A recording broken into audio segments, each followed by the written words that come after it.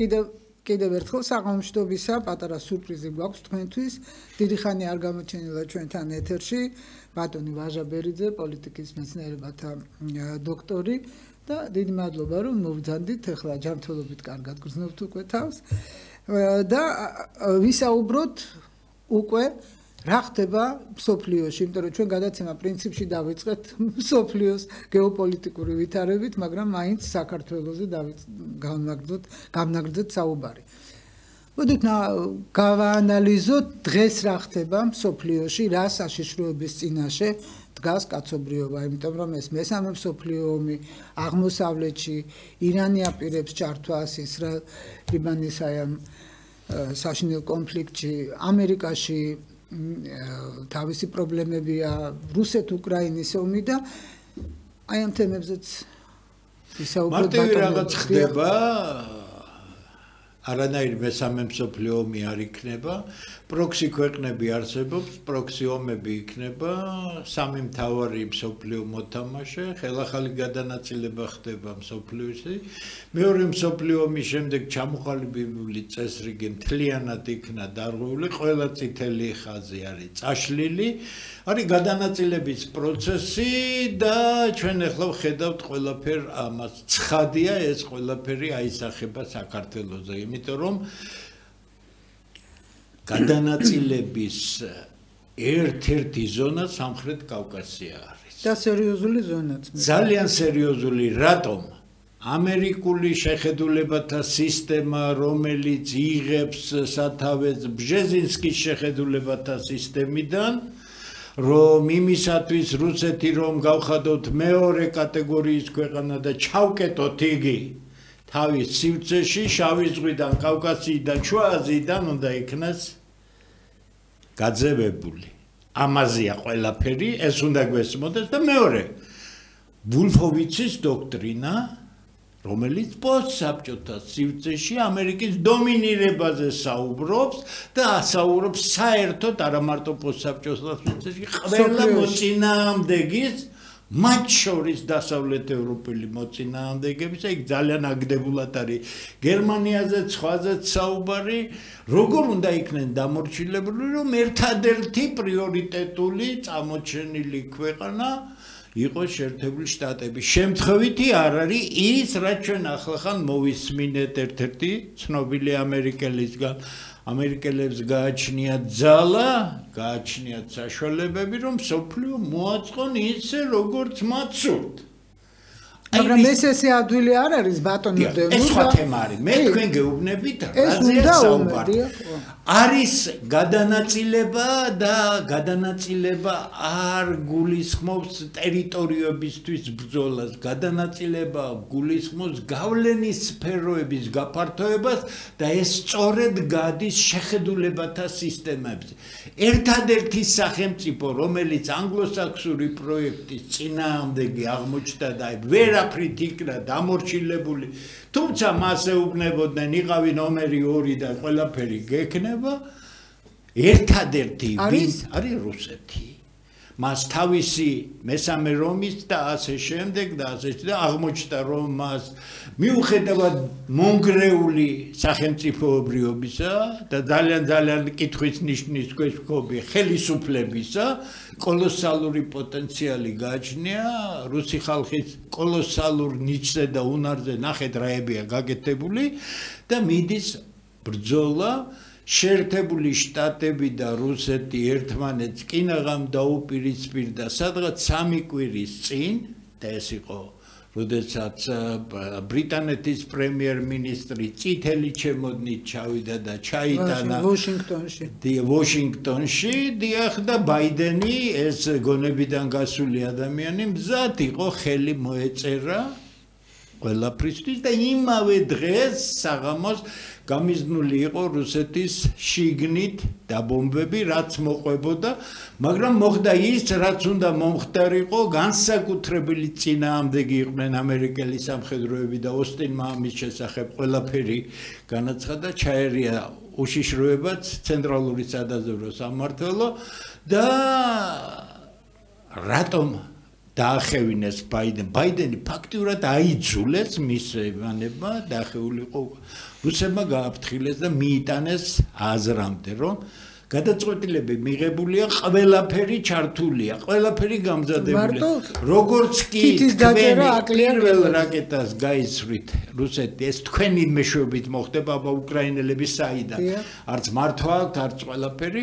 დაიბომბება პირველ რიგში კიევი, შემდეგ ლონდონი, შემდეგ ბრიუსელი, შემდეგ გერმანია და შემდეგ ამერიკა და თქვენ ამას ვერ შეუშლით ხელს, მართლაც ვერ შეუშლიათ. ჩვენ კარგად უნდა გვესმოდეს, გვიყვარს რუსები, არ გვიყვარს რუსეთი, მე აღწევ მდგომარეობას. სტრატეგიულ იერარქში რუსების უპირატესობა არის კოლოსალური. დიახ. ეს რომ არ იყოს 50 ქვეყანა ამდენი ხანი მიწასთან უკრაინის ერთადერთი მიზანი იყო რუსეთის სისუსტე ეჩვენებინა რომ ნატო შესულიყო და უკვე წაფორხილებული რუსეთი საბოლოოდ გასწორებულიყო აი ამის წინაშე ვარ ჩვენ. მაშინ აი ბატონო ვაჟა თქვენ რა სიტყვით? იმიტომ რომ ფინეთში ნატოს ჯარების მომრავლება ბალტიის პირეთში და მაინც ახლა ფინეთი და ბალტიის პირეთი ესაზღვრება რუსეთს აღმოსავლეთ ევროპა. და ბატონმა დემურმა ბრძანა რომ აი რუსეთი პრინციპში მონგრეული ხელისუფლების და რა ხელისუფლებას ვიღებთ მსოფლიოში ბაიდენი მონგრეული ხელისუფლება. რა თქმა უნდა, მონგრეული გენდამირებული ბრიტანეთი ხო, ბრიტანეთის ახალი პრემიის პრემიერ საწყალე ჩერჩილი და ტეჩერი წარმომიდგენია რა მდგომარეობაში არიან. მაგები უარესები იყვნენ როგით. უარესები იყვნენ. ნუ მაგრამ ჭკვიანები მაინც იყვნენ და ეხა ეს საშინელება, არ ვიცი. მოსალმებით. გერმანიაზე და საფრანგეთზე ხა შოლძზე და ემაზე მაკრონზე აღარაფერს ვამბობ. გისმენთ. ყველაფერი მე მგონი თავის თავად ცხადია. ბატონმა დემურომა საოცრად საფუძვლიანად და ხატუნად აღწერა. არსებული ვითარება საერთაშორისო მასშტაბით სოფლიოში. მე უბრალოდ ამ შემთხვევაში გამახსენდა ოლდოს ჰაქსლის გამონათქვამი რომ დედამიწა ეთყობა სამყაროს ჯოჯოხეთია და მარტა ყველაფერი იქეთ მიდის რომ უფრო მეტად და მეტად ასე ვთქვათ კოლორიტული გახდება ვითარება ამ თვალსაზრისით. თუმცა თვითონ ჰაქსლის დროს სოფლიო გაცილებით მშვიდობიანი იყო და გაცილებით რაციონალური და გონებრივი ვიდრე ეს დღეს არის. ნუ მანამდე რა თქმა უნდა, მაგრამ მაინც იყო. რა მანამდე მინდა მადლობა გადაგიხადოთ მოწვევისთვის. ორი წელია ობიექტივის ეთერში არ ყოფილ ვარ, მეტი შეიძლება და მოხარული ვარ რომ დაუბრუნდი, იმიტომ რომ დროთა განმავლობაში ჩავთვალე რომ არ აქვს აზრი აქტიობას, მედია აქტიობებს, ჩავთვალე რომ ჩავთვალე რომ იმიტომ რომ საინფორმაციო სივრცე არ ყოველ თვალსაზრისით დეტერმინიზებულია, ეს არის ნაწილი პროპაგანდისტული ბრძოლის ველის და როდესაც როდე არ იცით ვიდრე ვიდრე მედია ყველგან ასე გახდებოდა, ჩვენ გვეუნებოდნენ რომ ინფორმაცია და ტელეეთერები და საინფორმაციო საშუალებები და სოციალური მედიაც მათ შორის უნდა იყოს გარკვეული თვალსაზრისით რეგლამენტირებული, გარკვეული თვალსაზრისით უნდა მოდიოდეს იქიდან დაბალანსებული ინფორმაცია, თვალსაზრისების შეჯერება და უცებ აღმოჩნდა, რომ ეს ყველაფერი არა მარტო საქართველოსში არ არის ასე, არამედ თვითონ დასავლეთშიც არ არის ასე, რომ არაფერი თქვა, თქვა რუსეთზე და ჩვენ სამეზობლოს სხვა ქვეყნებზე, სადაც ეს დიდი ხანია ასეა და იქ სადაც განსხვავებული თვალსაზრისების შეჯერება არ ხდება, მაგალითად ჩვენ წავყვან საინფორმაციო საშუალებებში, ხო? ეს არის უწყვეტი მონოლოგი. მაშინ ობიექტიურად რა დაგიშევათ, როცა ყოველთვის შეიძლება და განსხვავებული აზრის მქონე ადამიანები ზრდილობიანად პოლემიკის წელიმაში, რეგრეტია. არაფერი არ დამიშალა. ერთმანეთს შეხვედრობდნენ და დღესაც ასე. ვიდრე ამას ვიტყოდებ და ვიტყვი იმას, რომ არაფერი არ დამიშალა პირიქით. მერიც მიწევდნენ და ეს არის ერთადერთი ტელე ტელევიზია იყო მაშინაც სხვათა შორის შორეული კავკასიის პერიოდის მერე, სადაც შეიძლება და განსხვავებული აზრის დაფიქსირება და ამის საშუალებას იძლეოდა როგორც სარედაქციო პოლიტიკა თვითონ არქის ისე შესანიშნავი ჟურნალისტები, წამყვანები, მაგრამ რეალურად სამწუხაროდ ობიექტივი ამინც ვერ ქმნის საინფორმაციო სივრცეში. იმდენად რამდენადაც სათანადო ფინანსური ბაზა არ აქვს, ჩვენი სარეკლამო ბაზარი არის უმახინჯესი მოვლენა საერთოდ საერთოდ და ის სარეკლამო ბაზარი ერთ და ორ ტელევიზიასაც კი ვერ შეინახავს, ისეთი მწირია, იმიტომ რომ ეს ნაკები ეკონომიკა ბატონი დემური ამას გაცილებით უკეთ იცნობს, ისეთი რეალობა ჩვენი ეკონომიკა, რომ ну პრინციპში იქცაცა კონკურენცია იმ ადგილას არ დგას რაც საჭიროა ეკონომიკის განვითარებისთვის აბა იქ რეკლამაც მხოლოდ აი მაგალითად კოკა-კოლა სჭირდება იმიტომ რომ ეს თვითონ სათაოფისა აქვს დაწესებული რომ ან ეს უნდა გააკეთოს ამ მასშტაბით ამ მოცულობით და ასე შემდეგ ამიტომ ეხლა ჩემთვის აი პროტესტი იყო გარკვეული პიროვნული მოქალაქეობრივი ეხა ეს შეიძლება ვერავინ ვერ შეამჩნია და არავისაც არ აინტერესებს მაგრამ იმ პიროვნული პროტესტი იყო იმიტომ რომ როდესაც რაღაც ერთი პროპაგანდისტული ნარატივი გაუწყვეტლივ მოედინება საინფორმაციო საშუალებებიდან სახელისუფლო და მეორე ნარატივი მას უპირისპირდება ასევე უსაგნო და ასევე ტენდენციური და ასევე გაჯერებული რაღაც ისეთი დებულებებით რომელსაც საფუძველი არ აქვს და ამას იქ სხვა და უპირისპირდება კიდე უფრო სხვა ყვითელი მედიის გამოხდომები ან თქვათ ფინანსურად შეჭირვებული საინფორმაციო საშუალებების მცდელობები კარფერი არ შეიცვლება. ამას უნდა შეეგუო და უნდა აკეთო შენი საქმე. აი ასეთი იყო ჩემი პოზიცია და ამის გამო იყო ეს პაუზა მაგრამ ეხლა მიმაჩნია რომ საფრთხე არის სერიოზული იმისა რომ ჩვენ ომისა და მშვიდობის არჩევანის წინაშე ვდგავართ როგორც გვეუბნებიან მე მიმაჩნია რომ ომსა და მშვიდობას შორის დიდი განსხვავება არ არის, როდესაც ომი დამთავრდა, როდესაც მშვიდობის გეშინოდა და ეს თავისთავად და მეორე მხრივ მე მაინც მიმაჩნია რომ ახალი მსოფლიო წესრიგის დამხობის და აცემის შეჩერების შემდეგ უკვე დაიწყო ის გლობალური გადანაწილება ასე თქვა სოფლიოს რა თქმა უნდა დაიწყო ასე თქვა დაემხო უკვე.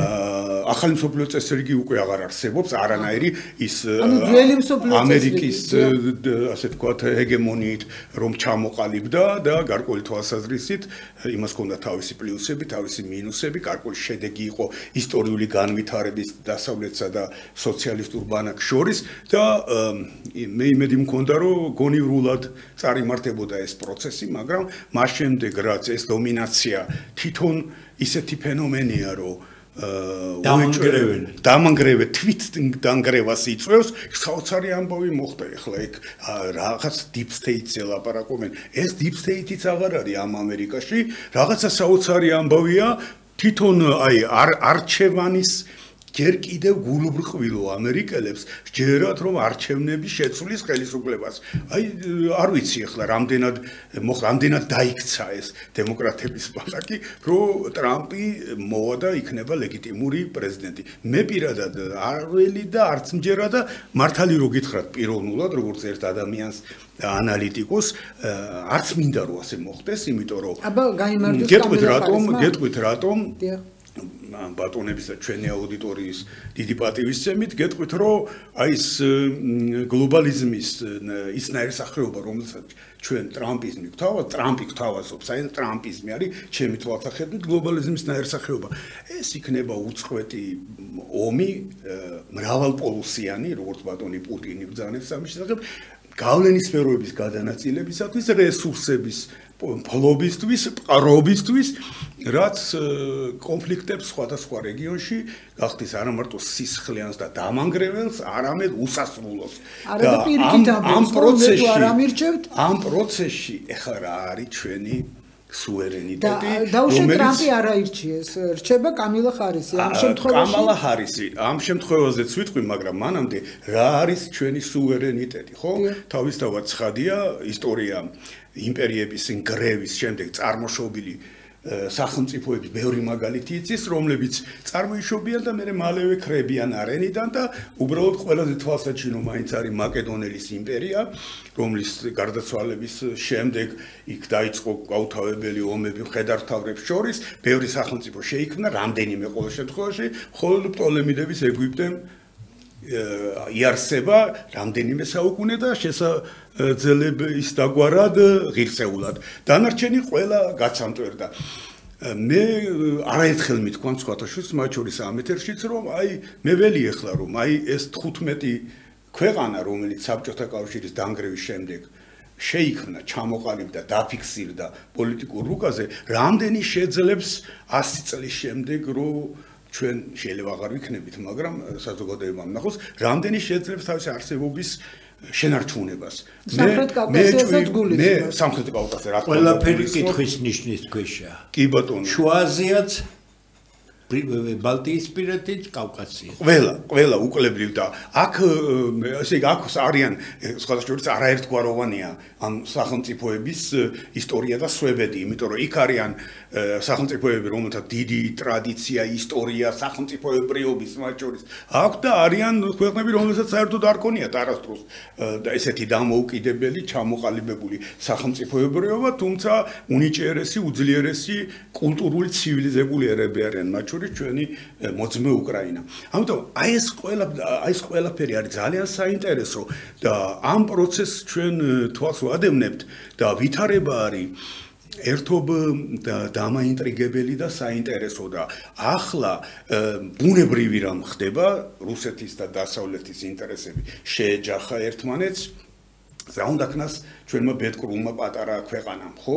რომ რომელიც ფაქტობრივად დეპოპულაციის შეუქცევად პროცესს განიცდის, მოსახლეობა განახევრდა ფაქტობრივად, კიდევ მიდის ეს პროცესი და ნუ ახლა აქ ამას ვერ უშველის ვერც ნაკრძალად და გამოქვაბულად ამ ქვეყნის გადაქცევა, ვერც ჩაკეტვა საზღურების, აქ საჭიროა საოცარი ლიდერი საჭიროა, რომელიც კარგად გამოიყენებს ამ წინააღმდეგობებს და აქ ამ ქვეყანას გამოიყვანს სამშვიდობოს. ახლა იქნება ასეთი ლიდერი ივანიშვილი, რომელსაც აუხედრდა მთელი დასავლეთ.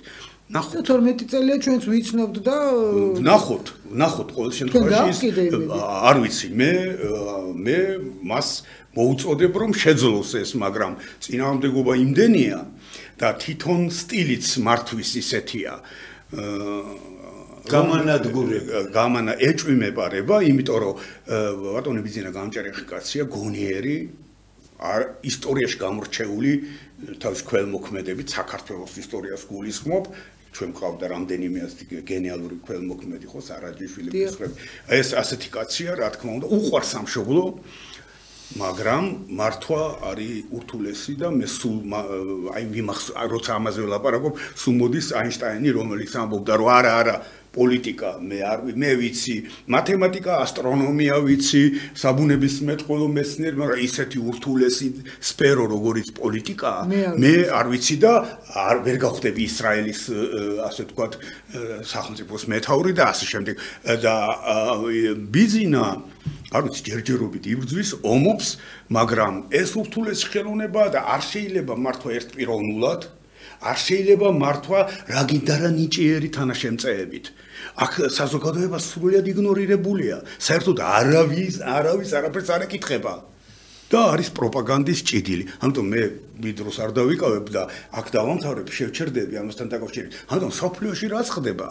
ეს არის ერთი პროცესი, მაგრამ საიმედო ჩვენთვის არ არის. აა გოჩა, ახლა აინშტაინი ახსენა ბატონმა ვაჟამ და გამახსენდა რომ ეს მესამე მსოფლიო ომის მერე მეოთხე მსოფლიო ომი იქნება უკვე ქვებით და ჯოხებითო. ვართ ამ სიტუაციაში? ველოდოთ მესამე მსოფლიო ომი მესალმები მართლაც დიდი ხანია ჩვენი კოლეგა კი მოგვანატრა სატელევიზიო სივრცეში არ ვინახავს დიდი მადლობა იმისთვის რომ პატივი დაგვდეთ ერთად ვართ.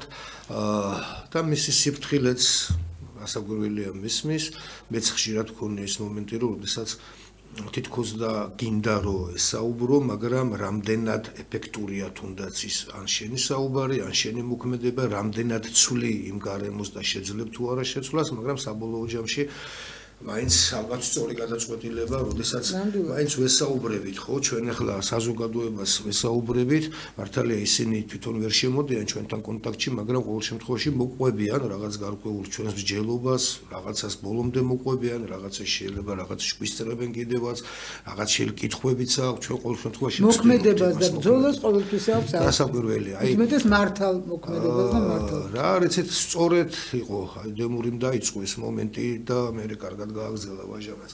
საბჭოთა კავშირის დაშლამ ფაქტიურად გამოიწვია, ხო, საიდან დაიწყო ეს პროცესი, რასაც ჩვენ ვეძახით აი მესამე მსოფლიო გადანაწილება.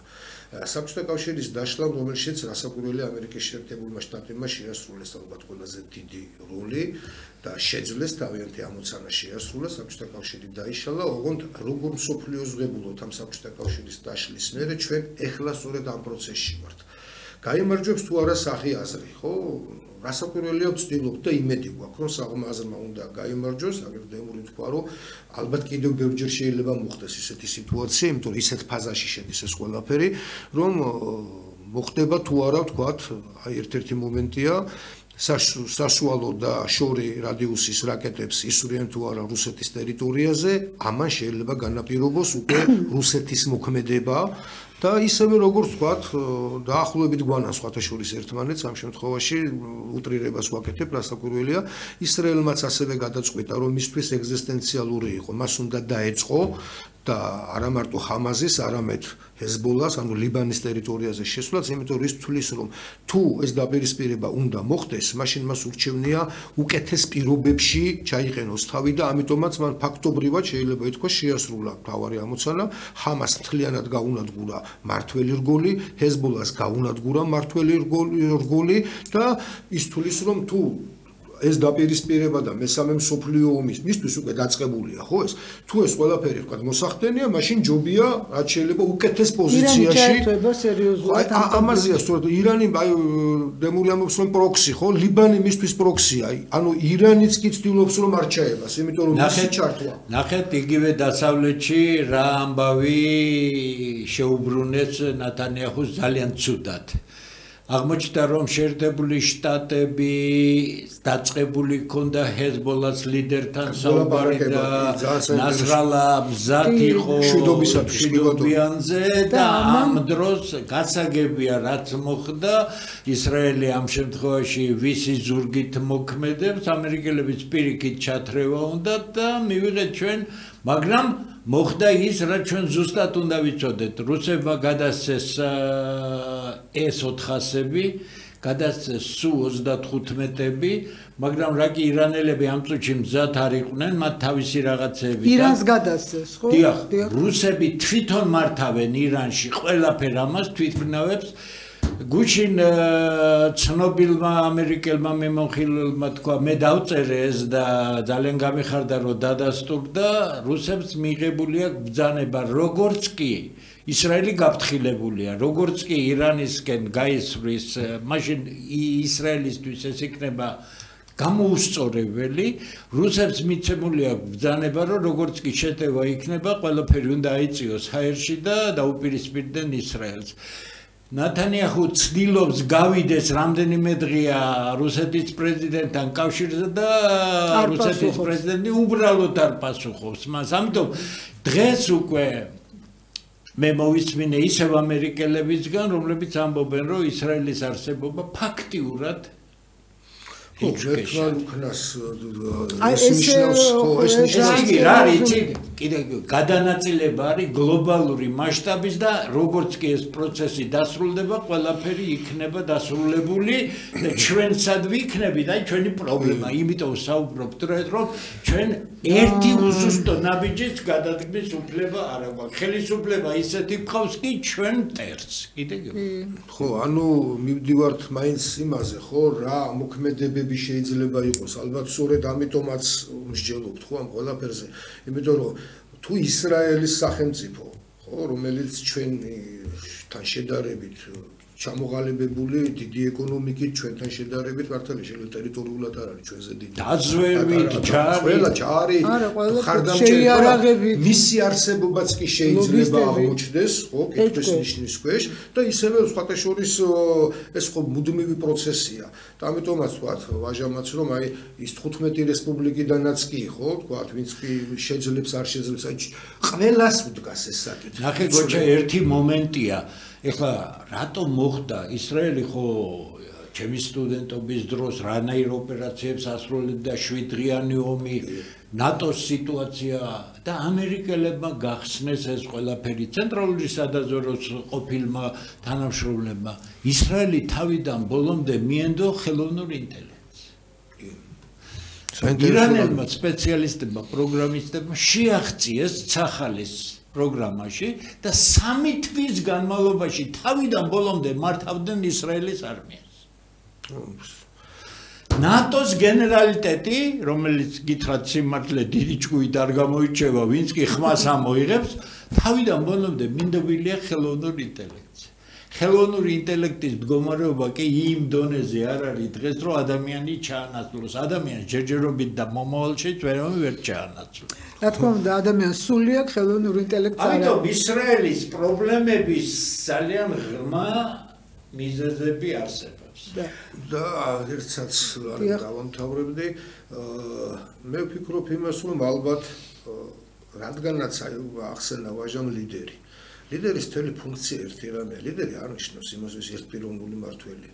ლიდერს უნდა კონდეს სწორედ იმისი საშუალება, გონება, ეყოს გონიერება, რომ მან და სწორედ თანაშემწეები შეიძლება ყავდეს, მაგრამ როცა შენ არ აქვს პარტნიორები, პარტნიორებს გულისხმობ იმაში, რომ როცა გადაწყვეტილებები გაქვს მისაღები, იქ უნდა იყვნენ ადამიანები, რომლებიც თავისუფალი არიან, შენზე დამოკიდებული კი არ არიან და შენ რა გაგიხარდება. ხო, შენ რა გაგიხარდება, იმას კი არ ამბობენ. არამედ კამათობენ. ახლა ჩვენ ადამ თავისუფალი ადამიანები ვართ, აგერ 4 ადამიანი შეხედვართ, ერთმანეთთან არანაირი ვალდებულება გარდა იმის, გარდა იმისა, რომ ჩვენ ადამიანური ვალდებულებები გვაქვს ერთმანეთის აზრის მოსმენის და კამათის ერთმანეთთან გარკვეულ ფარგლებში.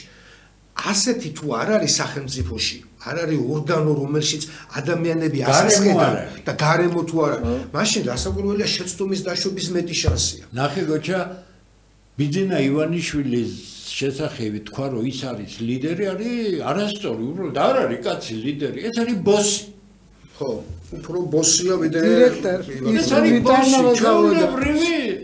თავისი ეგრეთ წოდებული კატასტროფული სასტავები ყავს იქ, ესე იგი თვითონ დახურული კაცი შვილმა არიცის, რაც აკეთებს ლიდერი ეს არ არის ლიდერი გახსნილი კაცია ლიდერებთან მუშაობს ლიდერებს ავლენს ლიდერების სტალინი ლიდერი სტალინი ლიდერი რა არის სტალინი ლიდერი უნდა ა სტალინი ლიდერი იყო ეხე სხვა თემა მოდით მოდით ეს ერთ რამეს ვეთქვი ბანდემურ ესე იგი რა თქმა უნდა ეხლა მე ბიზნესზე არ ვისაუბრებ, იმიტომ რომ არჩევნების წინა პერიოდია მაინც მისი შექებაც არჩევნებში მონაწილეობაა და მისი კრიტიკაც გარკვეული თვალსაზრისით და მე არ მინდა ასე თქვათ ჩავება, აი პირველად არის როცა ფიქრობ ვის მივცე ხმა, იმიტომ რომ მე კეთილსინთეზიერი მოქალაქე ვარ და მივალ საარჩევნო ურნასთან, მაგრამ არ ვიცი მართალი რო გითხრათ, იმიტომ რომ ყველა წინა არჩევნებში არც იმას დაუმალავრო, ოცნებას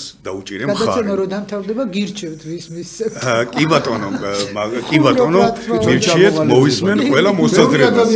კი, ასე, ასე, იმიტომ რომ ყოველთვის ასე ვთქვათ, თუ უარესსა და ცულ შორის მეთქი ვერ ვიტყვი, მაგრამ აი რაღაც ისეთ არჩევანის გაკეთება გვიხდებოდა და მეც ავყევი ბიზნეს თამაში, რომელიც მარტივი სქემა შესთავაზა ქართულ საზოგადოებას.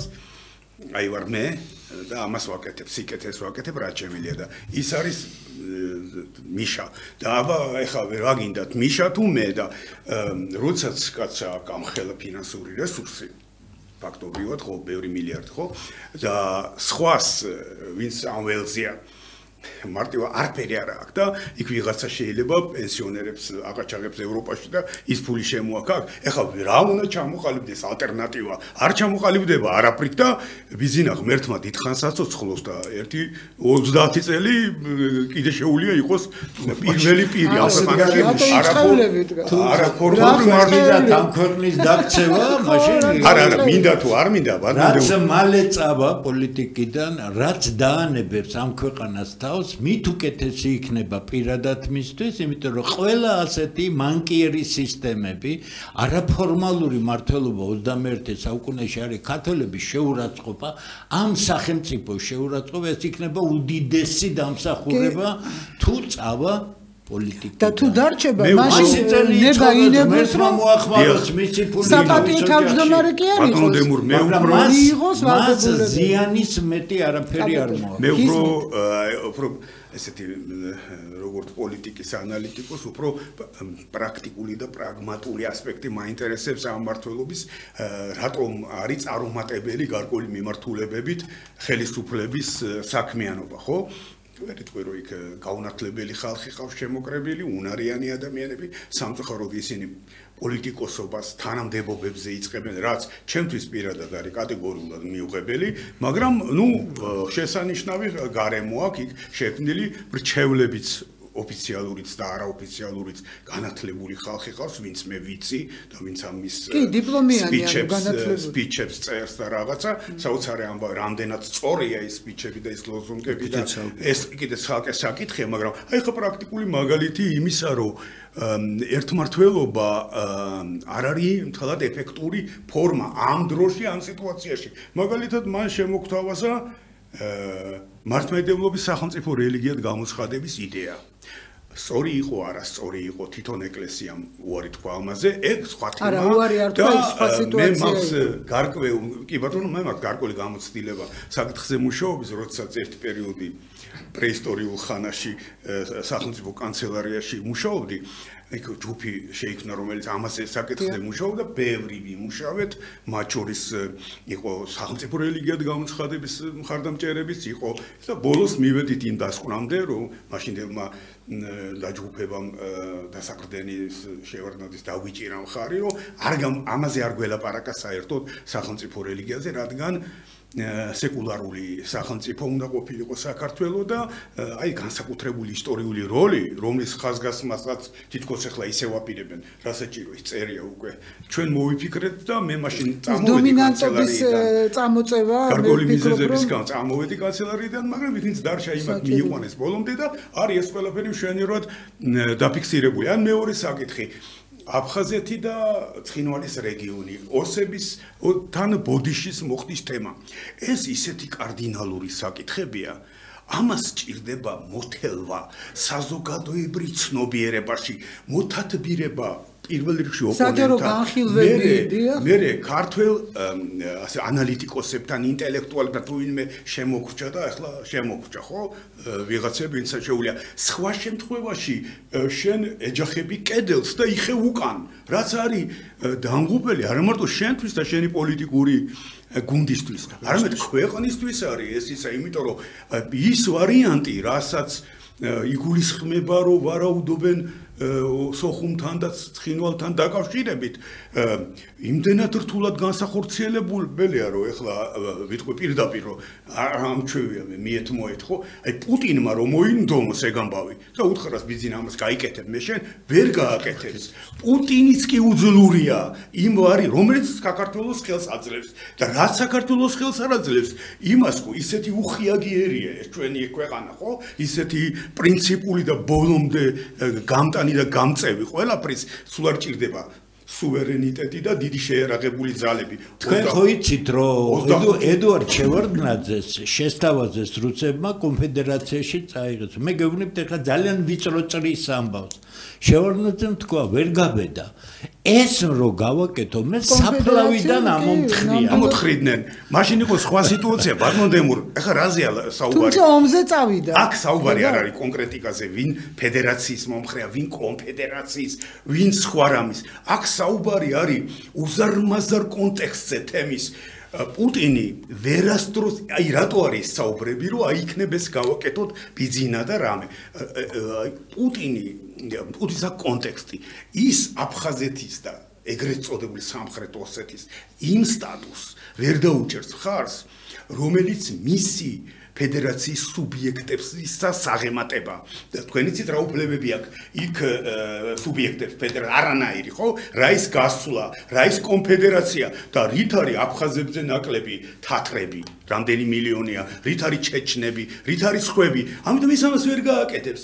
და პუტინს ეს დამოკლეს מחვილივით ადებს. ну გონია ჩვენ რომ ის ყოვლის შემძლეა. უკრაინაში ჩანს რომ ყოვლის შემძლე არ არის. თუმცა შეიძლება ეთნიკური რუსებიდან ყველაზე საუკეთესო მართველი იყოს რუსების ინტერესების თვალსაზრისით, ხა როგორც პირველი განათლებით ისტორიკოსი ამას ვიტყვი, იმიტომ რომ შესწავლილი იმაკეს ყველაფერი.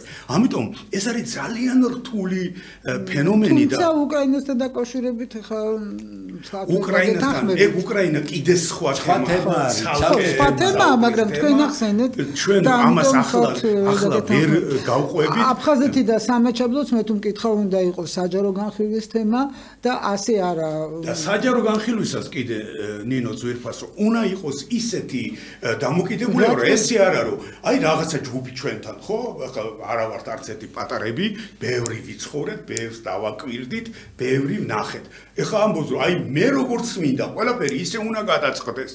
და ამას ამბობდა ჩვენი პირველი ღირსეული ლიდერიდან დაწყებული დამთავრებული ამბობს ახლა ისა ბიძინა და ისა ასე არ არის მეგობრებო ეს დეპოპულაციის პროცესი უსაზროდ გაგრძელდება თუ ჩვენ ამ ქვეყანაში გადავარჩიეთ მოსახლეობა და ყველას ვისაც უნდა შრომა არ მივეცით აქ ღირსეული სამუშაო ღირსეული ყოფის უფლება. თუ არა ის რომ მაგალითად ვიღაცა გულანთებული პატრიოტი ამას წინათ მოვისმინე აბოს რომ ჩვენ ჩავკეტავთ საზღვრებს. რას ქვია ჩაკეტავ? როდის იყო ჩაკეტილი ეს ქვეყანა? არასოდეს ამიტომ ძალიან ეს ძალიან ძალიან რთული თემებია ესენი. ამიტომ მოდი ესეთი ხელისუფლება შევქმნათ ჩვენ ვიდრე ომზე უარესი მიგვიღია.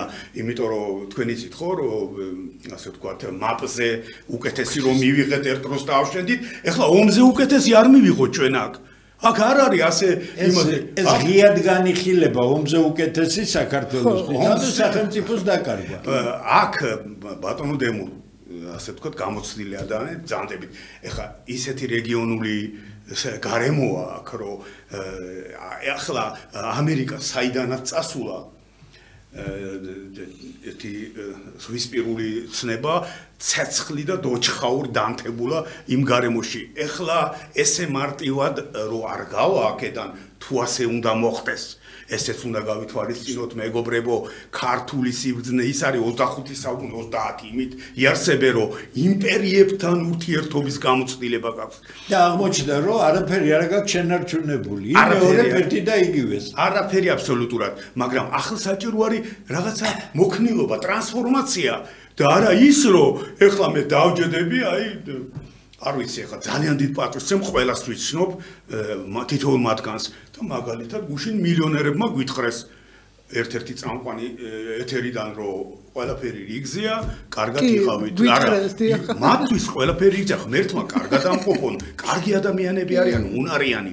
არა მარტო მილიონერები, მაგრამ ეხლა მე მკითხე, აბა, თვითონ თვემდე რო გამაქვს თავი, ან სხვას მკითხე საქართველოს უმრავლესობას, რას ქვია ყველაფერი რიგზია, როცა ჩემ მილიონერი ხარ, შენთვის ყველაფერი გზია, იმიტომ რომ ადგები დაავლებ შენს ოჯახს ხილს და გადახვალ მაგდ ევროპაში.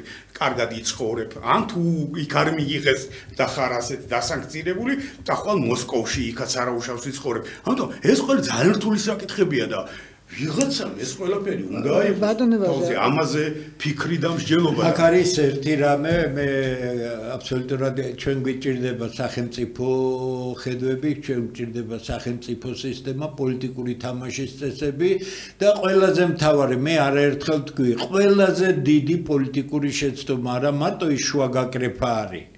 სისტემას არაგებ. არამედ ჩვენ ხარ არაფორმალური ადამიანი. თუ ვინმეს ქართველებს გონიათ, რომ არაფორმალურ ადამიანს პოლიტიკურ სოფლიო გადანაწილების დროს სახელმწიფოს სახელით ვინმე დაელაპარაკება არაფორმალურ ადამიანს. ეხლა აღარ არის პირველი ნომერია სის, ისე რომ აბსოლუტურად მართალია. არაერთხელ მიყვანს. ის ჯერჯერობით არის არაფორმალური. დღეს არაფორმალური. კეთილი ინებოს აიღოს კონსტიტუციური ვალდებულება გეთანხმებით თანამდებობა აიღოს და პასუხისგებლობა აიღოს. არა ისე როგორც აკეთებს და რამაც ფაქტობრივად ძირი გამოუთხარა ქართულ სახელმწიფოს გეთანხმებით ბატონო ვაჟა ამის შესახებ და ეხლაც ამ ხანებში შევთავაზე რომ აი თუ შვიდობიანად ჩამთავრდა ეს ყველაფერი დიდი ამბები გველი. ხო აიღე და გახდი პრეზიდენტი. ხო არაფერი დიდი დატვირთვა არ არის მას არ უნდა დატვირთვა. ოფიციალური პირი ხარ კონსტიტუციური პირი ხარ ერთ-ერთი თავარი კი ბატონო და რა რაშია საქმე რომ ბიძინა თავის აქტივებს ფაქტობრივად თვითონვე მართავს და ამას არ აკეთებს არც ერთი მილიარდერი მსოფლიოში თავის აქტივების მართვა ურთულესი უმძიმეს სამუშაოა ბატონო და ამას რო აკეთებს აბა ეხა მითხარი ეხა იმან კიდე პოლიტიკა კიდე კარგს ახერხებს რომ აი ამ ხალხს მოძღვრავს და იქ მიუშვებს აკეთებს. კაი, ნუ შეგვეცოდება ბატონ ბიძინა, ეს ჩვენი გადასახადი არ არის. შედეგი არის უკაცრავად ერთი კითხვა მინდა ვთქვა. შედეგი არის შესანიშნავი მილიონერებისთვის. მთელი ქვეყანა არის კორუფციაში ჩაძირული. პატარა დონიდან დაწყებული დიდ დონემდე ყველაფერი არის კორუფცია. აი რით ინარჩუნებს იგი იგი ამ სისტემას. აი რეკლამა, იმიტომ არ არის რომ არავის არ ჭირდება რეკლამა. ყველაფერი განაწილებულია. სფეროები. ერთი ერთი პერიოდი. ვიცი ძალიან საინტერესო რამე, ერთი პერიოდი გადამხდელთა კავშირში მუშაობდი არაჩვეულებრივ ხალხთან ერთად ბატონი ნიკო და სხვები და იქ სუმიკვირდა რომ ეს თავარი 30 კაცი რომ ერთად და ერთ აზრზე იყვნენ ყველა საკითხთან დაკავშირებით. მაგრამ მე დავაკვირდი ახლა კაცო მაშინ ახალგაზრდა ვიყავი ჯერ კიდევ და ყველას ყველაფერი გაიასნებული ქონდა ერთმანეთთან. ერთი კაცი იყო იქ რომელიც წავიდა იქიდან არ დავასახელებ ახლა. ვინ იყო იმიტომ რომ იმას ერთ-ერთმა იქ მყოფმა ბიზნესი ასე ვთქვათ აახია როგორც იტყვიან. ეს ჩვეულებრივი ამბავია სადაც ყველაფერი განაწილება სიმშვიდობა ბატონო ვაჟა დიახ მაგრამ ამ ილუზიებს ჩვენ ხა ჩვენ რეალურ ცხოვრებაზე ვსაუბრობ და არა მილიონერების ერთი კითხვა მინდა დავსვა რამდენი ხანია ვიბრძვი? ბატონო ვაჟა თქვენს თქვით მე კამილა სპეციალურად კამალა ხარ ისი მაგრამ კამილას ებრაელურად უწოდებ ხო? კამალა ხო? არა ნახეთ ხო? არა კამალა როებით ანუ თქვენს თქვით რომ ტრამპიზმი ეს ნუ და მაშინ ვიღებთ კამალას. კამილას. მაშინ რა ხდება? მაშინ ხდება ის რაც ხდებოდა აქამდე. გაგრძელდება ის საქმე დასრულებული არ არის. ბაიდენობა.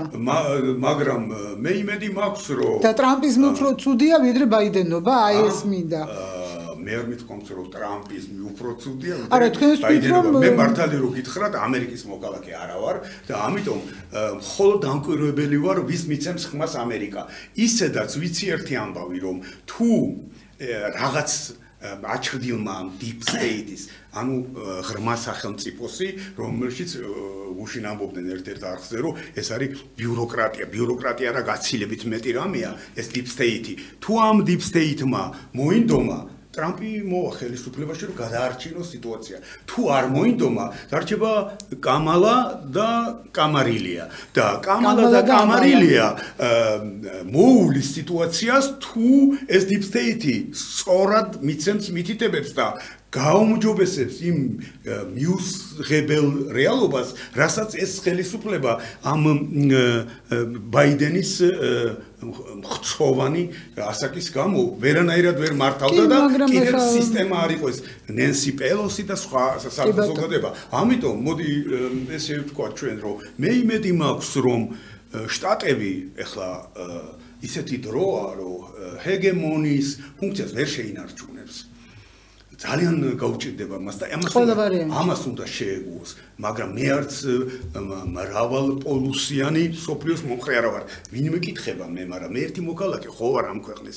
მე არც მრავალ პოლუსიანი სოფლიოს მომხრე არა ვარ მე ვარ მოვლენათა თავისუფალი და თანაბარი განვითარების მომხრე. იმიტომ რომ მე არა ვარ იმის მომხრე რომ ვიღაცამ თქვას რომ ახლა ამერიკამ კი არა კონტროლოს სოფლიო და რესურსები. არამედ მეც გავაკონტროლებ ჩემს გარშემო. და ჩვენს რომელიმე ში მოხვდებით ან ან თურქეთის გავლენის ქვეშ მოხვდებით რომლის ეკონომიკის ნაწილიც ვართ ბატონი დემური დამეთახმება ან ირანი რომელიც ან გადატრიალდება ან გამოიმარჯვებს და მეરે წამოვა აქეთ ღმერთმან უკნას ეხლა რო გვეუბნებიან რომ ატომურ ამატომურ ობიექტებში ბოდის ფიხტი ეხლა მე უნდა ვიკითხო გულობყვილოდ ბუშერის ატომური ელექტროსადგური შედის მუშაობს ეს ელექტროს ატომური ელექტროსადგური. ერთი პერიოდი აჩერებდა. ესეც არ ვიცი, ჩვენ ხო მედია გვყავს, საოცარი ყველაფერი უნდა ვიცოდეთ. სად არის ეს მედია? არ უთქვიათ ამ დღეებში. და ის ბუშერი თუ მუშაობს და თუ აპეთქდა, ვაი ჩვენს პატრონს და ვაი ირანს. ამიტომ ესე მარტივი თემა არ არის ბატონმა დემურმა არაჩვეულებრივად დაახასიათა რომ იქ მთლად ეგრე არ არის მე დავარტყამ და იქ აი რაღაც არაფერს არ მივიღებ პასუხად. უკვე ირანიც არ არის ესეთი გულუბრყვილო.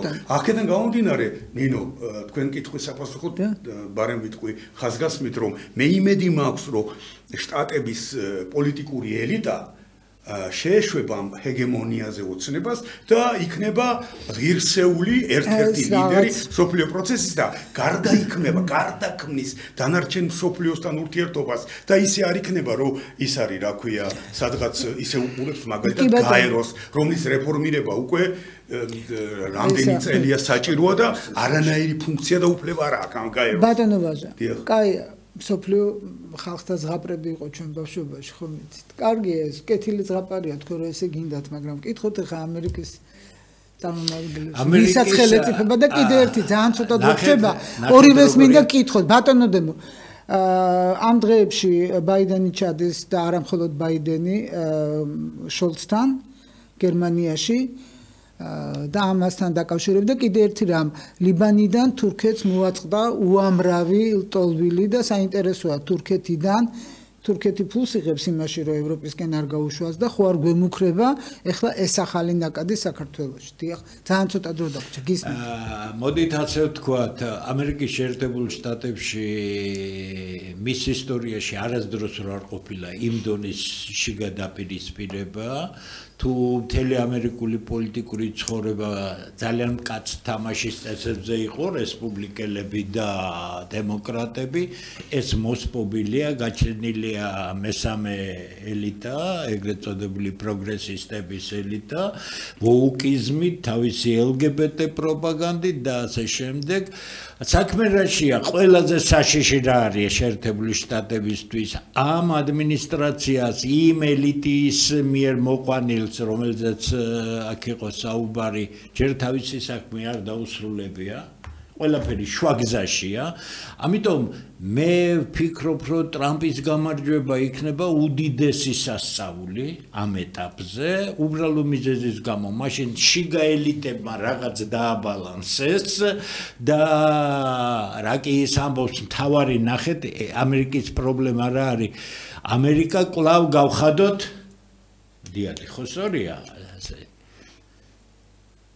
აი არ მჯერა რომ გამოიმარჯვებს ტრამპი უბრალო მიზეზის გამო აქ გლობალური ინტერესებია და ამ გლობალური ინტერესების დაუკმაყოფილებლობის შემთხვევაში შეერთებული შტატებს თვითონ უჩნდება უზარმაზარი საფრთხე და ეს საფრთხე მოხსნილი არ არის. მოკლედ მოკლედ რომ გითხრათ, გაუგებარია, ვერ გეტყვით რა მოხდება, რაც შეეხება ბაიდენის ჩასვლას გერმანიაში, გასაგებია. არა მარტო ბაიდენის, მაკრონის. კი, კი, ყველანი ეს უკრაინასთან დაკავშირებით არის, ყველანაირად შეეცდებიან, მაგრამ ვერავინ ვერ წყვეტს უკრაინის საკითხს. უკრაინის საკითხს გადაწყვეტს მხოლოდ რუსეთი, კიდე გეუბნებით.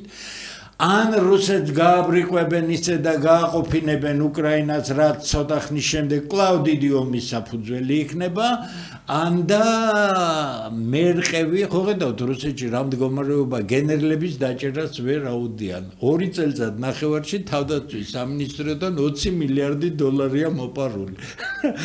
გამიგეთ რა? რაც გახმაურდა და სხვა და ამიტომ გითხარით, კითხვის ნიშნის ქვეშ არის. ამიტომ ყველაფერი არის საშინლად. აი, რუსეთის მომავალი დამოკიდებულია რუსეთის შიგა სტრუქტურაზე რა მოხდება, ამერიკის მომავალი დამოკიდებულია ამერიკის შიგნით რა მოხდება, ну, ევროპას მაინც არაფერი არ შეიძლება რო გითხრათ. ველოდოთ თურქეთიდან ლიბანის დევნილებს? არ მგონია. იმიტომ რომ თურქეთს გამოცდილება აქვს სირიიდან დიდი ნაკადის მართვის, არის ბანაკები და რომლის შენახვისთვის ევროკავშირი მას თუ უფრო გამწავდება სიტუაცია და არ ამგონია რომ გამოატაროს ჩვენსკენ. თვითონ მიხედავს მუსლიმ მოძმეებს თურქეთის ხელისუფლება, მე ასე მგონია. და გოჩა დაასრულე გადაცემა, რეზუმე. უჩით უკვე ერთადერთი რაც შემიძლია თქვა, რადგანაც ეს საუბარი იყო იგივე ბოდიშთან დაკავშირებით. ჩვენ ქვეყნის შიგნით ჯერ არა თუ აფხაზეთი და ცხინვალი რომელიც დაკარგულება, ჯერ ქვეყნის შიგნით უნდა მოვახერხოთ ის რომ ის გარემო რომელიც ყველაზე მტრული გარემოა, ის რაც მედია სივრცეებშია, ის რაც დამოკიდებულება პოლიტიკურ ჯგუფებს შორის, აი ეს გარემო უნდა გავასწოროთ. გარემტერი არ ჭირდება? ხო, რა გარემტერი, აი ჩვენ მოვახერხოთ ყველაზე მთავარი, არა, ყველაზე მთავარი, რა ჩვენ შეკირჩი აქ. არა, ხუმრობთ და ნებისმიერიც ნაციც ოცნებაც ყველამ უნდა მოახერხოთ თანაცხოვრება და ადამიანების ის დიდი ნაწილი რომელიც ვაჟასავით ფიქრობს აი ახლა ძალიან დიდი ნაწილი ამის ჩემი მეგობრების არ არიან ბოლომდე ჩამოყალიბებული რა თქვა ამას მივცემ ხმას ან ამას მივცემ. აი ამ დიდ ნაწილზე ფავარი ეგ იქნება. ამ ეს დიდი ნაწილი რას გადაწყვეტს? და ღმერთმა ქნას რა ყველას აქვს შანსი. ჩვენ მაგალითად 8 ნომერს ჩვენი შანსით ვფიქრობთ ბიზნესაც აქვს შანსი როგორ მოიქცევა და რას გააკეთებს. ჯერ კიდევ ყველა შანსი აქვს იმისი რომ კიდევ ამბობ რომ აი თუ აქ მოვრიგდებით მე აფხაზიც გაგვიგებს. რა გვინდოდა იმ ბოდიში ვიხდით თუ არ ვედით ოსიც და სულ ყველა. ისე აზრი არ აქვს. ქვეყნის შიგნით ჩვენ ერთმანეთს არ ვენდობით ისინი როგორ უნდა გვედრონ ან რა უნდათ მათ ასეთ ქვეყანაში. რატო უნდა შემოვიდნენ? რა სურვილი უნდა კონდეთ ამიტომ მივახციოთ იმას რომ ქვეყნის შიგნით ნორმალურად ჩავატაროთ სამოქალაქო დაპირისპირების გარეშე არჩევნები. დავდოთ რეალური შედეგი რაც უნდა იყოს და თანაცხოვრება ვისწავლოთ ერთმანეთთან. აი ესა ყველაზე დიდი მადლობა ბატონებო და იმედი მაქვს რომ არჩევნებამდე კიდე შევიკრიბებით და ვისაუბრებთ იმიტომ რომ დღითი დღე რაღაცა ახალი რაღაც ხდება იძაბება სიტუაცია და მაინც აუცილებელია შეხვედრა და საუბარი ჩვენ სამომრჩეველთან. თუმცა პასუხისგებლობა ეკისრება ხალხს, რომელიც უნდა მივიდეს 26-დან გააკეთოს არჩევნები. დიდი მადლობა საინტერესო საუბრისთვის და ჩვენს მაყურებელს და მსმენელს მე პარასკევამდე ვემშვიდობები ნახვა.